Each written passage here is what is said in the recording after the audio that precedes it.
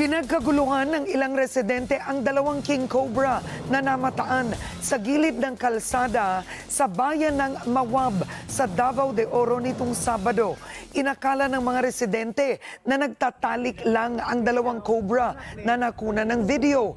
Pero ayon kay Emerson C., editor ng Reptile and Amphibian Database Philippines, isang ritual combat umano ang ginagawa ng dalawang male cobras para maipakita kung sino sa kanilang dalawa ang mas malakas.